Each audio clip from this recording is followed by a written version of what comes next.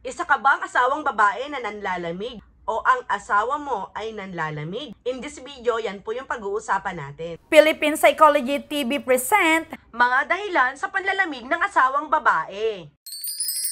una na po dyan, is yung nadismaya po siya sa lalaking napangasawa niya. Noong napangasawa niya yung lalaking to, meron siya isang image na nakikita, yun yung mga bagay na inaasahan niya sa lalaking ito.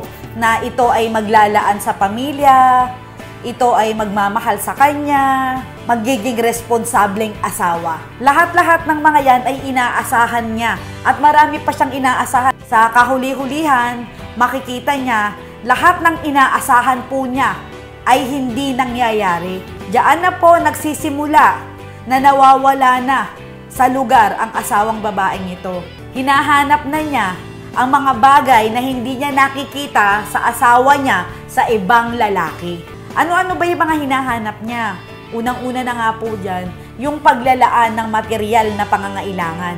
Ang naglalaan po kasi talaga niyan, ang mostly, although sa panahon natin ngayon, magkasama na ang babae at lalaking gumagawa niyan, kadalasan, ang matataas pa nga ang sweldo ng mga babae, doon sa natural na pamumuhay na kung saan ang babae, inaasahan niya na ang lalaki ang siyang maglalaan ng lahat ng pangangailangan niya.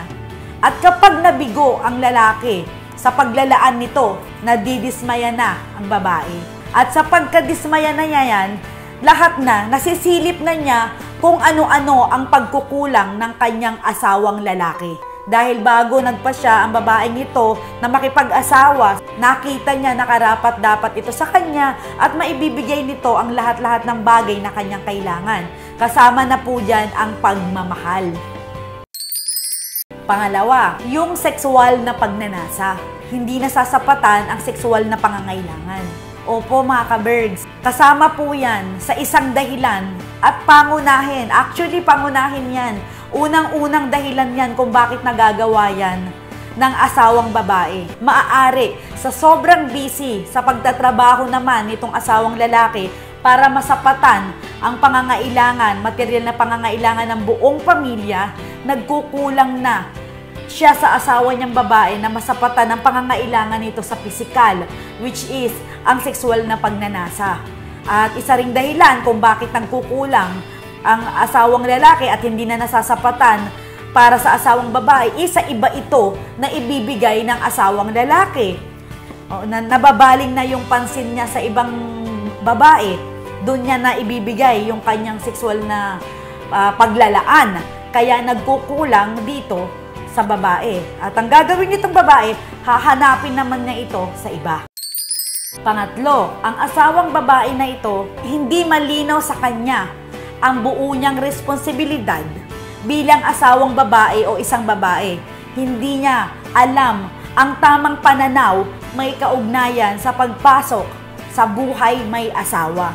Kapag ka nag-asawa po kasi tayo, dapat malinaw po sa atin yung pananaw natin na hindi po fairy tales ang pagpasok sa pag-aasawa.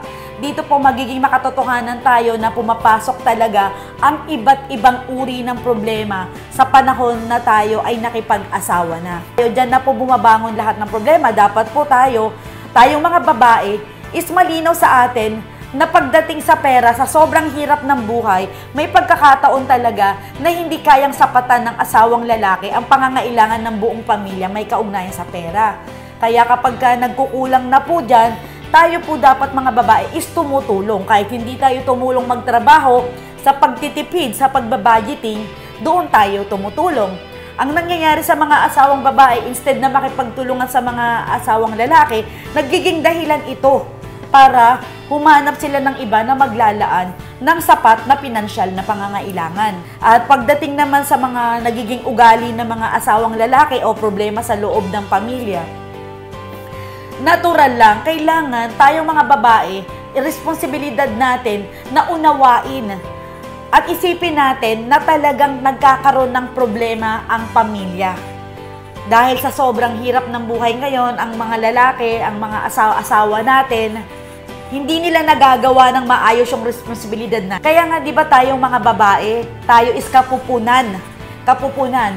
Doon sa mga bagay na hindi nila nagagawa sa mga bagay na nagkukulang ang mga asawang lalaki, tayo ang mag-a-adjust. Tayo ang siyang gagawa ng paraan para masapatan o makatulong tayo sa asawa nating lalaki. Nagkukulang man siya sa pinansyal, nagkukulang man siya sa ah, physical na pangangailangan, sexual na paglalaan niya sa'yo bilang lalaki, nagkukulang ka man doon, kailangan tayo pong mga babae, ang babae ang siyang mag adjust pagdating dito. Kapag hindi po nagawa ng babae yan, diyan na po pumapasok na hindi na, nagiging makasarili na siya. Sarili na lang niya yung iniisip niya, that's the point na talagang ang kanyang kaisipan is lumilipat na para maghanap ng ibang lalaki na sasapat sa kanyang pangangailangan. Pinansyal man ito o sexual na pangangailangan. Ano man po ang dahilan ng babae kung bakit niya nagawa yan, pumapasok po yan sa nadismaya siya sa kanyang asawa. Hindi niya nakita na yun ang pwedeng kahinatnan o maging ugali ng asawa niya sa kahabaan ng pagsasama nila. Pangalawa, yung sexual o physical niyang pangangailangan is hindi nasasapatan nung asawa niyang lalaki. At yung pangatlo nga is yung kanyang pananaw, yung kanyang mindset, yung kanyang kaisipan may kaugnayan sa pag-aasawa na hindi talaga ito tumatakbo ng fairy tales. Hindi ito tumatakbo na maayos.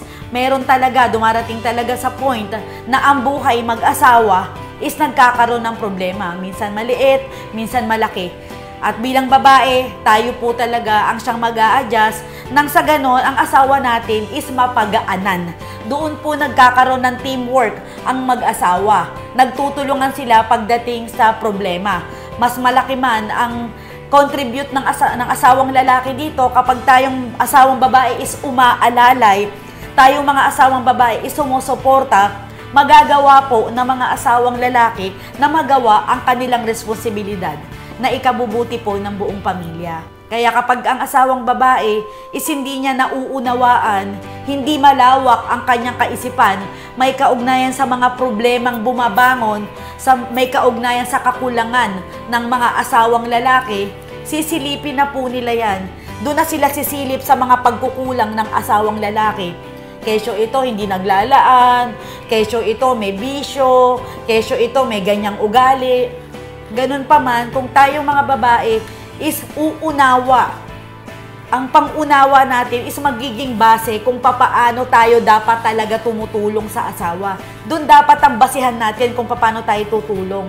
Ano ba talaga yung ano natin, responsibilidad natin bilang babae kung paano tayo tutulong sa asawa natin. Kung paano ba natin uunawain ng asawa natin. Kaysa sa hanapan po natin siya ng mga pagkukulang niya, hanapan natin siya ng kung ano-anong bagay na hindi niya maibigay, tingnan po natin ang ating mga asawa sa mga punto kung saan maganda.